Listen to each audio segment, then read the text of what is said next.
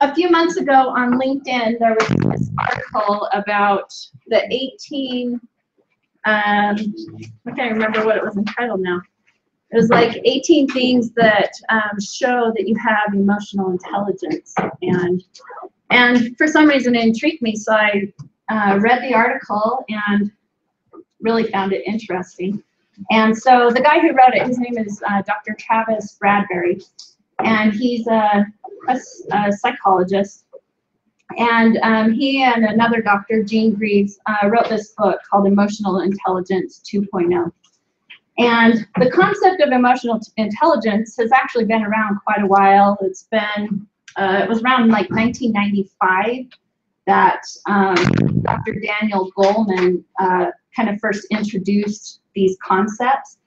And the thing that was kind of interesting about this is for a long time people had thought that having a high IQ was the big uh, determiner for success. And what they realized was that um, uh, people with just your average IQs outperformed um, those with the highest IQs 70% of the time. And so they were like, okay, so what's this disconnect? You know, what? Why are these averagely intelligent people outperforming these, you know, brilliant people? And what they determined was that uh, the critical factor was emotional intelligence.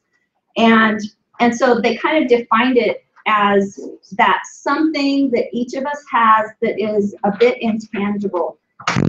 It actually affects how we manage behavior, navigate our social complexities, and make uh, personal decisions to achieve positive results. So it's kind of this, you know, big idea of how we just interact with other people. And that was, you know, so it's kind of like a big thing about people skills. And so it really intrigued me. Um, if you didn't get a quiz uh, as you're coming in, yeah, pop quiz. Down. You came in, now you're stuck. Um, uh, grab one of these sheets that is in on one of the chairs. Um, and just go ahead, kind of work through that while I'm talking. Uh, so, after decades of research, uh, and they've realized that 90% of top performers actually have emotional intelligence. So it's something that um, has just really gained a lot of momentum. So while I read Emotional Intelligence 2.0, and most of my stuff is coming from Dr. Bradberry, uh, there are like hundreds of emotional intelligence quizzes and stuff that are online. There's all kinds of them that you can actually pay for. And then they will um, also provide you with um, different skills and strategies to help you improve your emotional intelligence in the areas that you're lacking.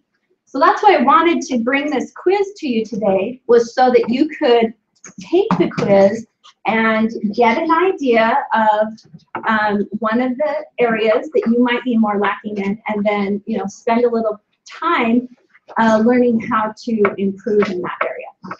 Yeah. You have more quizzes. I do not. There's, well, there's one up here, one there. We got a couple here and there. And and if any of you don't get it, it is um, it's linked on the event board app, so you guys can you know pull it off and, and try it out later. Okay, so let's move on. There are four different components of emotional intelligence. Uh, they are self-awareness, uh, social awareness, self-management, and then relationship management. Are So- those the same order they are in the quiz? Uh, yeah, I think they are, actually. Okay, so let's learn a little bit about what each of those actually mean. Self-awareness, first of all, is your ability to accurately perceive your own emotions in the moment and understand your tendencies across situations. Um, one key thing here as you try to develop better self-awareness um, is actually just if you're even aware that you're trying to do better, that's like the first step to just being more aware of your emotions and how they feel. Um, is a pretty big thing. The other thing that's really important with self-awareness, and I found this super interesting, is that um, the most accurate, picture of anyone's behavior comes from those around them. People are actually more perceptive of our true behaviors than we ourselves are. And I have to say, like when I was back in grad school and I was still single, and it's when like LDS singles online first came out, and you know all the online dating stuff.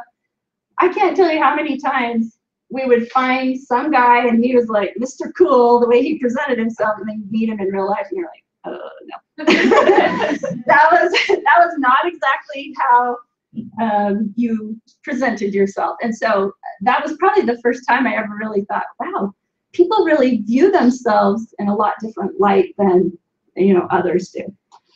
Um, the next then is the self-management. So that's the ability to take uh, the self-awareness um, of your emotions and really stay flexible and and you know keep your behavior moving in a positive direction. Then social awareness is your ability to accurately pick up on emotions um, in others and understand what is really going on with them. And this one's um, you know very interesting because you know some people kind of lack those social skills sometimes. They don't understand when you know maybe somebody is really sad or grieving and then they just come in and they're like hey do you want to go to a movie? And you're like well i'm devastated here you know? So uh, those types of cues are very important as well. The last one then is relationship management and that's kind of taking all three of these areas and, and using them to um, uh, to manage all of your interactions with others Okay, so we're going to look at a couple of things. So back to uh, Daniel Goleman. Um, this is what he called his competency framework. And so you can kind of see the major characteristics that come in within each of the four uh, components. So I wanted to just maybe describe a little bit more about um, each of these. So starting first with self-awareness, the big thing here is that you're understanding emotions. Um, or you know you you gain emotional knowledge. So this is your ability to identify and comprehend emotional chains um, or the transition from one emotion to another. Uh, next then is the self-management, which is using those emotions. So that's your ability to access an emotion and and and then to reason with it so that you can actually use it to assist you um, in your interactions uh, or in your thoughts and your decision making. Then the social awareness is where you're actually identifying emotions and those are your own emotions and the emotions of others. Um, and then lastly with managing or relationship management obviously it's managing those emotions so it's that ability to self-regulate emotions and then to manage them in other people as well. So um, we want to find out then how emotionally intelligent you are. So you guys have had this little quiz here.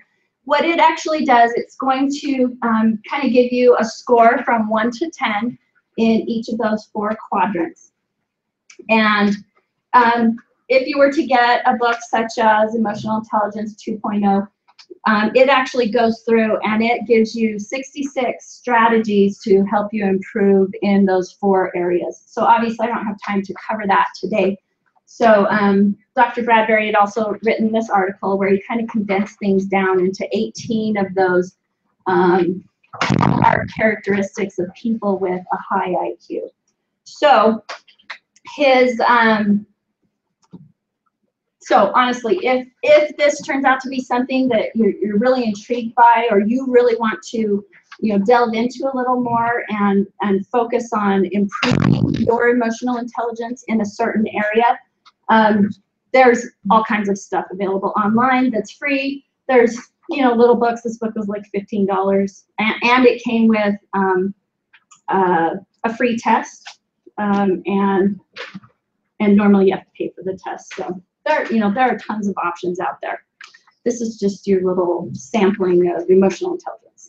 Okay, So, the 18 different um, hallmarks of high IQ, um, some of the most important ones. First one is uh, you have a robust uh, emotional vocabulary. So this one's kind of tying back into the self-awareness. Uh, basically, people, uh, only about 36% of people are act are able to accurately identify their emotions when they are happening. Um, and so this one is kind of a, an exercise in understanding how you're feeling and then accurately labeling those feelings so that you can then make a more rational decision in how you're going to act when you're feeling a certain way. Um, so, for example, instead of just saying you're feeling bad today, um, if you have more emotional intelligence, you might uh, describe something as you're feeling irritable or frustrated or downtrodden or you're anxious. You're a lot more specific. So that's like the cool chart you put on your fridge, right? With all the different. Yes, yes. yeah. Or, you know, I mean, sometimes like Facebook, you can do your status update and then say you're feeling anxious. Or it's not just usually I'm feeling bad. So I guess Facebook's helping us out there with identifying our emotions.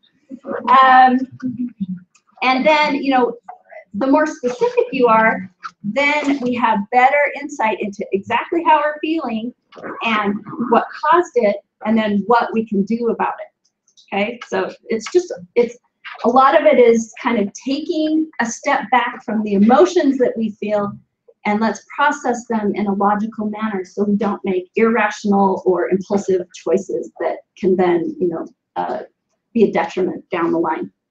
Okay, the next one then is, oh, you're curious about people and you're open with them.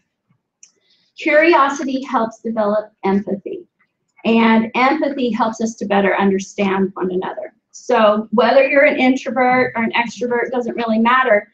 It's when you show interest in people and you want to learn about them and you ask questions, the more you do that, the better shot you're going to have at actually understanding them, understanding their needs, and not misinterpreting their their needs or you know whatever them in general.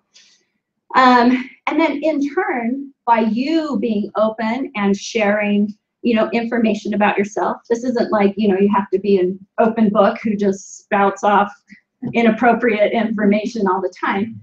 But you know, when people are going through a difficult time or something, when you can also empathize or share, you know, some of your own feelings or whatever, that um, also gives less room for people to misinterpret you as well. So once again, that's going to aid in our communication.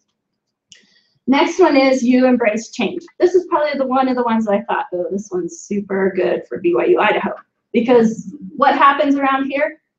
Constant change. Something's always changing we're continually growing, you know, there's always something going on. So um, by being flexible and adapting, that shows a lot of emotional intel intelligence. Um, uh, people who have a high, oh, I forgot to mention that um, it's often uh, uh, abbreviated as EQ or EI. So EQ, like an emotional quotient, like IQ is intelligence quotient. Um, so people with a high EQ, uh, they know that fear of change can be very paralyzing. I don't know if maybe some of you are that way.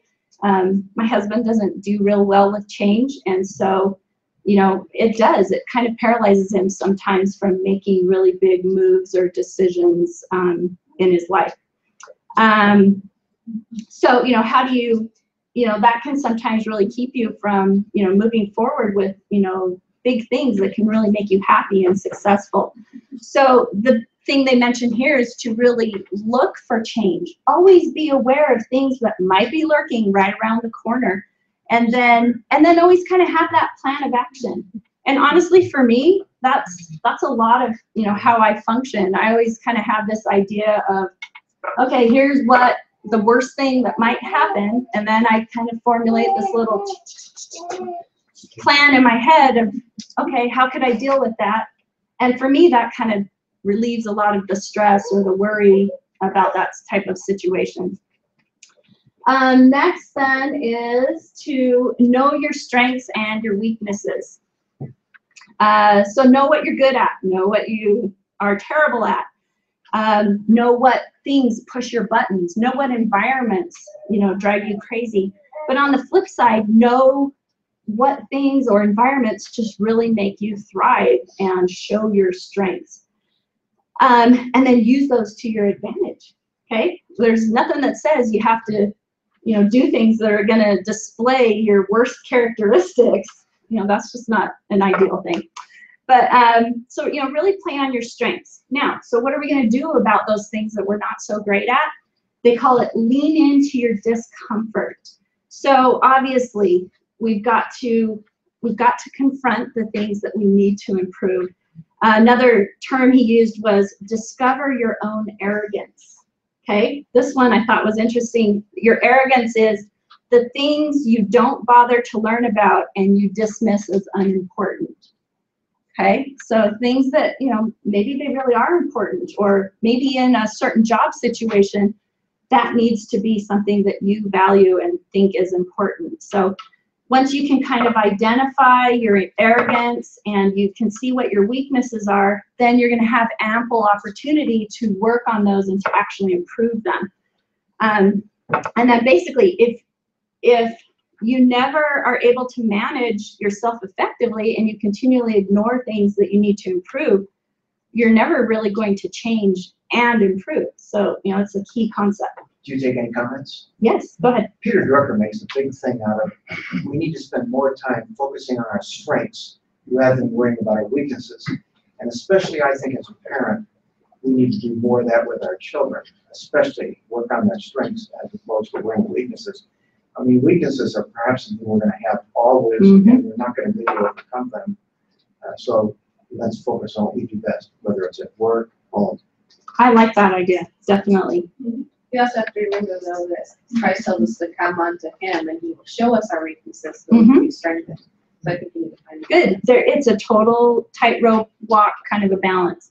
Um, I really do like though the uh, helping your children find their strengths and their, you know, because um, my parents were really huge on that, helping us find things that we were good at that help develop self confidence, so that you can move into well, so you can get through the teenage years without, you know, being a crumpled mess, and and then you know proceed into adulthood with confidence.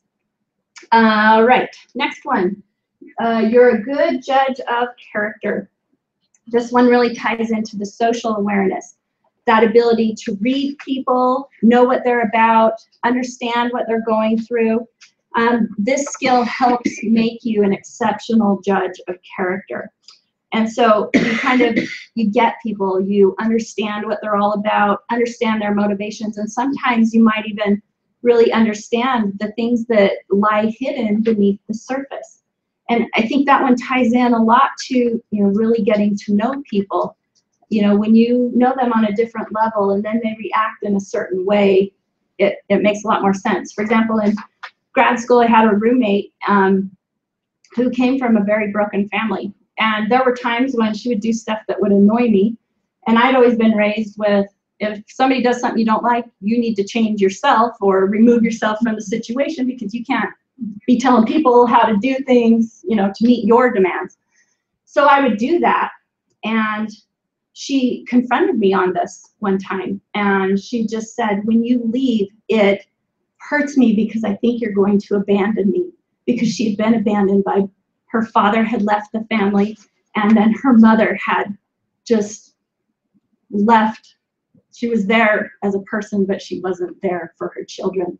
So she had been abandoned. So even someone yelling at her or telling her you're doing this wrong was better than no one being there. So that was a key idea. You know it's not just about how i deal with things or how i perceive things. It's how we're all interacting and understanding one another um, okay, you are difficult to offend. This one's a tough one sometimes, but people who have high e, uh, EQ are have a real firm grasp of who they are. They know, you know, what it's really hard for people to get their goat or, you know, really offend them. They have a very thick skin, self-confident, they're very open-minded. And, you know, they can poke fun at themselves and even let others, you know, poke fun at them. Key one, you know how to say no to yourself and to others. This shows a lot of self-control. Um, the difficulty here is that, um, you know, for some of us, we want to always be able to say yes, and I can do that. But by um, when it's time for you to say no, this will help keep your stress within a manageable level. Make sure that when you're saying no, you don't use the wimpy phrases, oh, I don't think I can, or oh, I'm not certain. Just say no. And then realize that by saying no, you're honoring the commitments that you already have, and, and then you'll be more capable of completing them successfully. Does that include saying no to your bishop? I'll let you take that up between the, yourself and the Lord. Uh, next is you can let go of mistakes. So you want to distance yourself from your mistakes, but don't forget them. We don't want to dwell on them constantly because that's going to keep us from really moving forward. But at the same time, we we do want them within a, a reach so that we don't repeat them.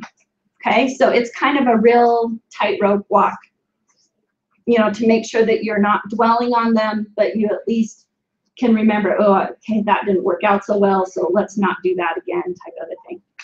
Um, so the idea here is transform your your failures into nuggets of improvement. I just thought that was kind of cool. Nuggets of improvement, um, or you know, get right back up every time you fall down. Uh, the last one uh, didn't show. Sorry. It's you give and expect nothing in return. This is um, kind of that concept of when someone gives you something spontaneously and they don't expect anything, it really leaves a powerful impression on you. Um, so, for example, maybe you had a conversation with someone and you were talking about a book, and then a couple weeks later they show up with that book in hand and and you know give it to you. Hey, I remember that you we talked about this or whatever. Doesn't that make you feel good to know somebody was thinking about you? Debbie, for example, her first semester is TGL. She sent me a little bouquet of cookie flowers, cookie bouquet, and it was just so nice. She didn't expect me to give her anything back, right? She didn't get anything back. you know, by by just doing little things like that, it shows that you're thinking about other people. It, I mean, it ties into showing gratitude also, which is another thing we'll talk about in a minute. Okay, a few more things. I gotta cruise through here. Don't hold grudges. Okay. Obviously, we know the Lord has told us that we need to forgive, but holding on to a grudge also keeps that stress response, the fight or flight response, active. It's I'm sure many of us have gone through those times where we're just angry about something and we haven't let go. And then that moment that you truly forgive or you just let go of whatever was you know, upsetting you, you feel that wave of relief. And, you know, I think part of that is spiritual. And I think another part of it is truly just a physical stress release that you're no longer carrying. Um, let's see. Let's next one. You neutralize toxic people. Um, yesterday in our TGL and AIM um, type discussions, we were talking a lot about some difficult um, conversations and such. And one of the things that kept coming up is uh, uh, preparing for these difficult conversations and then really being sure that we keep our feelings and our emotions in check so that we're not fueling that. Does the author of this volume talk about how to neutralize toxic people? Um, he does. He, he, um, well, just a few things he's got here. Uh, appro- approach the situation rationally. Identify your own emotions. Identify their emotions. Uh, don't allow anger and frustration to really fuel that chaos. Um, I appreciated yesterday. Uh, oftentimes, you know, when we get into these difficult situations, sometimes they totally derail, and you've got somebody like yelling at you on the phone or they're really upset. And they said you can often help bring things back together by using, he called it a fix it statement, such as, you know, this is hard. I know this is a difficult conversation. I know Jane, that was some, a tactic that you had used that, you know, just right from the get-go, acknowledging that it was going to be something hard to talk about. Um, or asking the other person how they feel. That was another thing James had mentioned in a difficult situation he had. He just asked the people what they were feeling and, and how things were going. And he really didn't even have to broach the difficult subject because it came up on its own, kind of a thing. So uh, there are lots of you know different ways. I've learned a lot from Heather too in dealing with um, student grievances and such. That you know when we write an email, there is no emotion in that email and, and no judgment type things in the things that we say. So that obviously in online communication we try to remove as much um, misinterpretive um, phrases as possible and just keep it very benign. Um, But also, Yes. say also with online communication, it's hard to read yes, person. yes. So you know we have some extra challenges that way. You don't don't seek perfection. We know humans are fallible. Um, and if you're constantly trying to be perfect, then you actually will never be truly happy or satisfied. You'll always feel stressed because you didn't do well enough. So, you know, focus on coming back to those uh, strengths, focus on the things you did well, and then do better the next time in a different, uh, you know, way. Next, appreciate what you have and show it.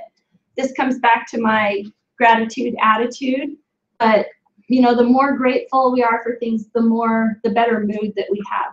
Everybody has trials, everybody has hard things, but I think focusing on what is going well rather than what's not going well really helps keep us in on the right path of and perspective. Because you know, you let those negative emotions get in there and, and then we start getting problems with depression and you know, just things that then kind of become this downward spiral. And it's really, you know, there are some things we can try to do to help keep our spirits up and, and keep us happy. And that's one, I've, you know. And then the other thing, uh, like going back to Debbie, showing your thanks when, when you really feel like somebody's done something for you or just, you know, letting them know that you appreciate them. Next is, I think this one's an important concept for us since we work online so much disconnect. Okay, you need to disconnect. Take some time off the grid. It helps keep your stress under control. You get to actually interact with the people around you, and you'll be living in the moment instead of texting on your phone while your kids are telling you about their day at school. Did you actually hear what they said? No. My, I mean, I, I'm not the best example of this, but you know, I can tell you, my son's like, "You're not listening to me." Know I'll try to hurry and remember the last thing you said or something, but but he's right. A lot of times I'm I'm not listening, and you know he also needs to realize if I started texting before he started talking, he should maybe wait till I was done. You know, so there's there's some give and take there. Um, but really, turn off the screen uh, screens, all of the different screens, phones, tablets, TVs, computers, um, and this segues into sleep. You need to get enough sleep and you need to get some quality sleep.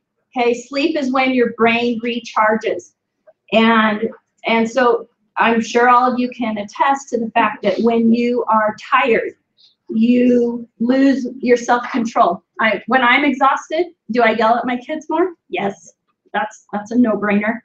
Um, I, it's harder to keep your attention.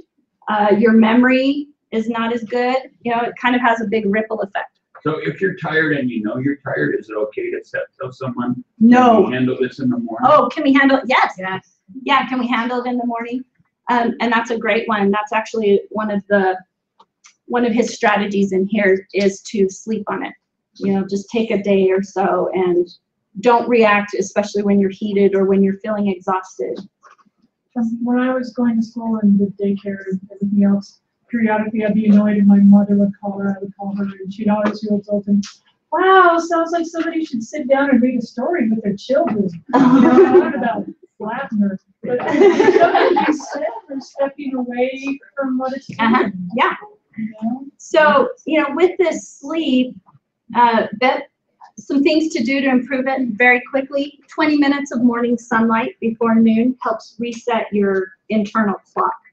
Um, and it needs to be like outdoor. So if any of your outdoor exercises in the morning, you just like killed two birds with one stone and you burned off a bunch of stress, uh, stress, you know, byproducts. Um, just so you know, I have a health background, so I'm always big on exercise, eat right, sleep, that kind of stuff. Um, turn off all of your electronics two hours before bedtime because the light from those um, kind of is mimics sunlight. So it keeps your brain a little bit, uh, and that can make it difficult to fall asleep. Keep your bed for sleeping. Don't walk, work in your bed or watch TV, uh, that type of stuff. And then lastly, avoid caffeine limit your caffeine intake. Um, with the caffeine, it kind of triggers the adrenaline type response with fight or flight. So it kind of puts you in a hyper arousal state. And that, once again, um, lets your emotions overrun your behavior sometimes. You don't think as logically that way. So if you do have caffeine, has kind of a long half-life. It takes about six hours to work out of your system. So you'd want to avoid it after about noon or so to um, not, let it disrupt your sleep. Then we're getting almost to the end. And once again, my slides are too short. Uh, you stop negative self-talk in its tracks. The more negative you are with yourself, the more damaging it is to your self-management. So, you know, try to eliminate those. I always do that, or I'm never, you know, never good enough, or I'm such an idiot you know, those types of things, stop doing those. Uh, you know, I've often, when I used to teach stress management classes, I would tell my students, talk to yourself like you would your child. Do you go around telling your kids they're idiots? If you do, you need to change that. But also, if you're telling yourself you're an idiot all the time, you need to change that as well. Because talk, talk like you would, you know, nurture yourself. Don't berate yourself. Um, and the very last one is you won't let anyone limit your joy. And so that idea is that no matter what other people think about what you've done or what you're doing or how you do things, your self-worth comes from within. And I know that's, you know, definitely something that, you know, our Heavenly Father, you know, really, um, you know, our self-worth, no matter what we do, He will always love us and his the amount of love that he has for us will never change based on that. And so kind of incorporating that love that our Heavenly Father has for us into other things is um, beneficial as well. So, sorry we've run out of time for questions or whatnot, but if you ever want to talk a little bit, um, it's been something I really enjoyed, and thank you for coming. Thank you. Thank you.